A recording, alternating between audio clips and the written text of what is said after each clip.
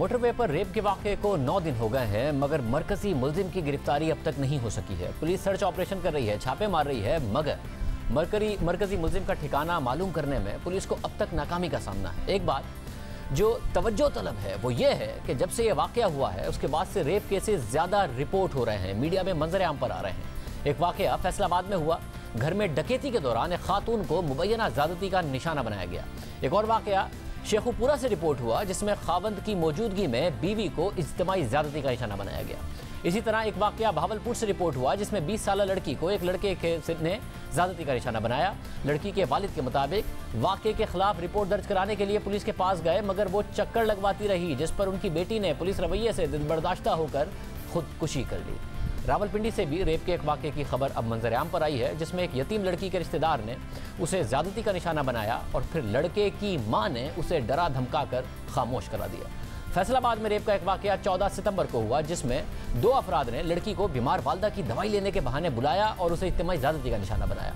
Rape का एक और वाक्य फैसलाबाद ही में रिपोर्ट हुआ। 11 सितंबर को झंग बाज़ार से मुलजिम ने अपने दोस्तों की मदद से असलहे के ज़ोर पर लड़की को अगवा किया और फिर ज्यादती का निशाना बनाया। फैसलाबाद में ही 13 सितंबर को एक ही रोज में तीन कमसिन बच्चों को ज्यादती का निशाना बनाने के वाकयात रिपोर्ट हुए।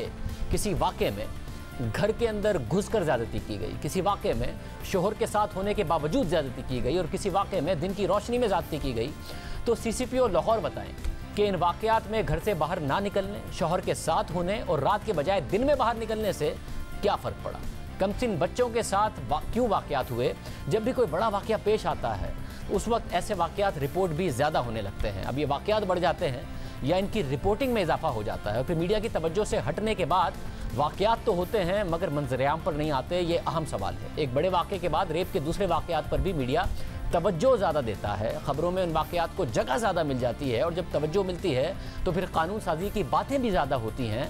ऐसे ही वाक़ात की रोकथाम के लिए दावे भी किए जाते हैं इकदाम की बातें भी की जाती हैं। कसूर स्कैंडल के बाद भी ऐसा ही हुआ कौमी असम्बली में।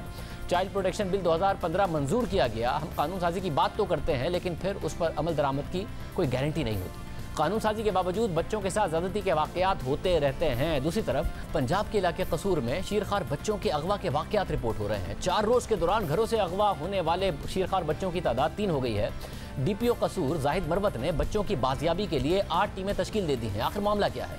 कसूर वो इलाका है जहाँ से पहले भी कमसिन बच्चों के साथ ज्यादती के वाकयात रिपोर्ट होते रहे हैं। उनमें से जनवरी 2018 में सामने आने वाला छः साल बच्ची जैनब का केस भी है, जिसमें मुलजिम इमरान को सजाए मौत हुई और अब कसूर में अचानक शीरखार बच्चों के अगवा का मामला सामने आया है। गुजशत कुछ अरसे से कसूर शहर बच्चों के साथ ज्यादती और उसके बाद कत्ल के वाकयात की वजह से न सिर्फ़ मुल्की मीडिया की तवज्जो हासिल कर गया, बल्कि माजी में बैन अवी मीडिया में भी उसका तस्करा होता रहा। दो हज़ार पंद्रह में कसूर में मुताद लड़कों और लड़कियों के साथ ज्यादती की वीडियो सामने आई।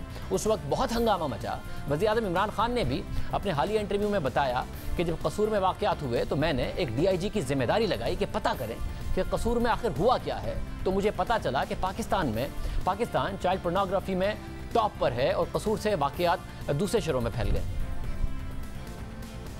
पता है कसूर का जब केस हुआ, एक बड़े अच्छे एक डीआईजी को मैंने बुलाया पंजाब से। उनकी ज़िम्मेदारी लगाई कि मुझे बताओ कसूर में क्या हुआ है? ये तो शुरू में, कसूर के अंदर वाक़ आपको पता है बच्चों से बड़े वाक़ थे और उनकी फ़िल्में बनाई जा रही थी चाइल्ड पोनोग्राफी फिर मुझे पता चला कि पाकिस्तान दुनिया में टॉप पे है चाइल्ड पोनोग्राफी के ऊपर। उसको कहा कि मुझे चेक करो कि कसूर में क्या हो रहा है। आपको पता है जब उसने मुझे वापस आके रिपोर्ट दी यानी मैं शौक में चला गया। उसने कहा जो आप सोच रहे हैं उससे बहुत बड़ा ये इशू बन चुका है। ये फैल गया सोसाइटी में। उसके बाद हमने बैठ के प्लानिंग की। उलमा से कहा कि बात करो उनसे। टीचर से बात करो। वहाँ मुजीन से बात करो। पुलिस सिर्फ़ पुलिसिंग का ये इशू नहीं है। वो फैल गया इस वक्त। और ये और भी फैसलाबाद में भी यानी शर्मनाक ये जब वाक़ात होते हैं, एक्शन लेने की बात होती है और फिर जैसे ही मीडिया से हेडलाइंस हटती हैं तो फिर खामोशी हो जाती है, फिर वाक़ात होते हैं। अब बच्चे अगवा हो रहे हैं, शीरखार बच्चे अगवा हो रहे हैं। डी पी ओ कसूर जाहिद मरवत हमारे साथ मौजूद है। जाहिद मरवत साहब, बहुत शुक्रिया। जाहिद मरवत साहब, ये बच्चों के अगवा का वाक़ शीरखार बच्चे अगवा घरों से हो रहे हैं, चार रोज़ में तीन बच्चे अगवा हुए हैं। अब तक क्या जान पाए हैं, क्या वजूहत हैं? जी थैंक यू वेरी मच जी। आप सही कह रहे हैं, ये तीन बच्चे किडनैप अबडक्ट हुए हैं। ये इनकी उम्रें हैं, एक की पाँच दिन की, एक की दस दिन की और एक की बीस दिन की। ये जो पाँच दिन का जो एक पहला बच्चा है, उस पे तो अल्लाह की फजल से काफ़ी काम हुआ है और ये इंशाल्लाह कल तक ये सॉल्व हो जाएगा ये case. But it was a totally different case from the rest of the two क्योंकि दो केसेस जो लास्ट में हुए हैं, जिसमें एक बच्चा है और एक बच्ची है उनमें एक मर्द और एक औरत मोटरसाइकिल पे आते हैं और वो घरों में जाते हैं। और वहाँ पे जब उस बच्चे को अकेला पाते हैं तो वो उनको पिक कर लेते हैं और चले जाते हैं। इस सिलसिले में हमने मुख्तलिफ़ जब रिपोर्ट हुआ ये केस पहला केस रिपोर्ट हुआ। सिंस कसूर, बड़ा सेंसिटिव है चिल्ड्रन के रिलेटेड जितने भी क्राइम है, पहले भी इनकी एक हिस्ट्री तो we have we reported there तमाम टीमों ने। हमने मुख्तलिफ़ टीमें बनाई हैं। इसमें टेक्निकल जो टीम है ह्यूमन इंटेलिजेंस की टीम है और जो खासकर सिटी डी पंजाब ने जो इन्वेस्टिगेटर ट्रेन किए कसूर डिस्ट्रिक्ट के लिए उन, उन उनको डिप्लॉय किया है। तो ये मुख्तलिफ़ एंगल से हम इस पे काम कर रहे हैं। मतलब तो अभी तक इतने छोटे बच्चों के अगवा की वजह क्या समझ में आई है आपको? क्या तहकीक कर पाए अभी तक? लगता ये है कि कोई एक मुनजम गैंग है जो शिखार बच्चों को उठाते हैं और आगे सेल आउट करते हैं या कोई फॉर दैट मैटर कोई और भी इसका मोटिव हो सकता है बट ये कबल वक्त होगा कि इसका मोटिव क्या है। जो मैंने बात की वो based on the past cases जो पंजाब में हुए हैं, जब हमने उनका रिकॉर्ड आज लिया और मुख्तलिफ़ सस्पेक्ट्स को मोर देन टेन सस्पेक्ट्स जो मुख्तलिफ़ इस किस्म के केसेस में इन्वॉल्व हैं, उनको सब्जेक्ट इंटरोगेशन किया तो उनसे यही मालूम हुआ कि इस किस्म के जब भी क्राइम होते हैं तो वन ऑफ़ द मोटिव ये भी हो सकता है कि वो उन बच्चों को या किसी के हैंड ओवर करते हैं, या किसी को सेल आउट करते हैं। बट जहाँ तक हमारे इन दो केसेस का ताल्लुक है, इनका अभी कहना कि क्यों किस मकसद के लिए किडनैप हुए हुए हैं, उनका कबल वक्त होगा जी। मतलब अगर गुजशत कुछ बरसों में कसूर ज़ाहिर बड़ी बुरी खबरों के हवाले से, मनफी खबरों के हवाले से मीडिया पर रहा है, बच्चों के साथ ज़्यादती के वाक़ात हों फिर बच्चों के साथ ज़्यादती के बाद उनके कत्ल का मामला हो, फिर बच्चों की वीडियोज़ बनाने का मामला हो, फिर वजी अजम ने खुद ने पिछले दिनों इंटरव्यू में कहा कि उन्होंने खुद पता कराया कि चाइल्ड पोर्नोग्राफी का एक बहुत बड़ा नेटवर्क है और वो फिर दूसरे शहरों में भी फैल गया है। ये एक के बाद एक इस किस्म के वाक़ात आते हैं, बुरी खबरों के हवाले से मंजरेआम पर रहता है। अब अब तक कुछ नहीं पता चल पाया, क्यों बार बार ये होता है?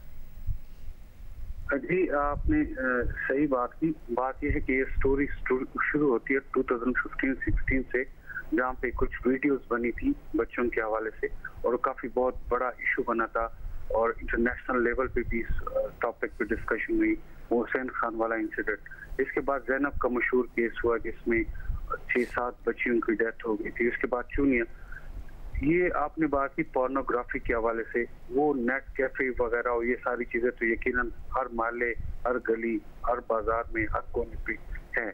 कसूर की टोटल सर आबादी फोर्टी लैख है और ये दो हिस्सों में तकसीम है। फिफ्टी परसेंट जो डिस्ट्रिक्ट है, वो मेन रोड पे है मेन हाईवे पे है। वहाँ का कल्चर और जो rest of the fifty percent है, वो टोटल डिफरेंट है। वो one side on one side there is totally rural आबादी on the other side, it's total urbanized city so, इसमें जो वजूहत हैं, एक तो सर ये है कि बच्चे अनफॉर्चुनेटली क्योंकि मैंने जैनब के केस में भी रोल प्ले किया था इन्वेस्टिगेशन की थी चूनिया के केस में भी। उन जीआईटी रिपोर्ट से इन्वेस्टिगेशन से जो बात सामने आई, बच्चे चूँकि वलनरेबल होते हैं और इजीली वो इन वर्चर्स का शिकार होते हैं। तो ये एक वजह है कि वो, वो उन पर ज़्यादा उनके पैसे नहीं लगते इन जालमों के और वो आसानी से उनको अपने हवस का शिकार बना देते हैं। मतलब मगर बच्चे तो पूरे मुल्क में हैं और बच्चे वनरेबल होते हैं। देहात शहर का फ़र्क पूरे मुल्क में है। ये बार बार के वाक़ात होना उसके बाद क्या कोई बाकायदा तहकीकात नहीं हुई कि इसकी वजह क्या है और इसको रोका कैसे जा सकता है कि एक के बाद एक मसला हो जाता है और अब बच्चे अगवा हो रहे हैं कसूर से? लास्ट ईयर में when I was posted here for junior हमारे पाँच बच्चे यहाँ पे शहीद हुए थे इन क्रिमिनल सोहेल शहजाद के हाथों। वो सर वो ऐसे थे कि रोड पे अंडे बेचना और बाजारों में मुख्तलिफ़ चीज़ें बेचना और वो इजीली एक्सेसिबल थे इन लोगों को। सो एक वजह तो इजी एक्सेस इन बच्चों का आ, आ, ये जो पेडोफिलियंस हैं या दूसरे इस तरह के लोग हैं जो चाइल्ड अब्यूजर्स हैं, उनके लिए इजी एक्सेस का होना, दूसरा इन पे इनका ज़्यादा खर्च ना होना, और तीसरा सर, जितने भी एक्यूज थे, वो सारे कभी यूज़ टू थे, कभी हैबिचुअल कभी खुद विक्टम रहे हैं। और ये जब बड़े हो गए तो एक साइकोलॉजिकल एक रिवेंज भी हो सकता है उनमें, कि कभी वो खुद यूज़ टू रहे खुद विक्टम रहे जब ये बड़े हो गए तो उन्होंने वही जो जो देखा था, वही चीज़ उन्होंने रेप्लिकेट करने की कोशिश की और वो उसमें कामयाब भी हो गए। सो ये मुख्तलिफ़ एंगल्स हैं जो कसूर में ये वाकयात बार बार होते हैं, सर। बहुत शुक्रिया जाहिद नवाज़। बरवा साहब हमारे साथ मौजूद थे। उम्मीद करते हैं कि हल इन चीज़ों का निकाला जाए। ये प्रॉब्लम्स तो पूरी मुल्क में और सोसाइटी में मौजूद हैं, मगर अगर बार बार ऐसे वाकयात कसूर से होते हैं तो एक मुस्तकिल हल निकाले जाने की ज़रूरत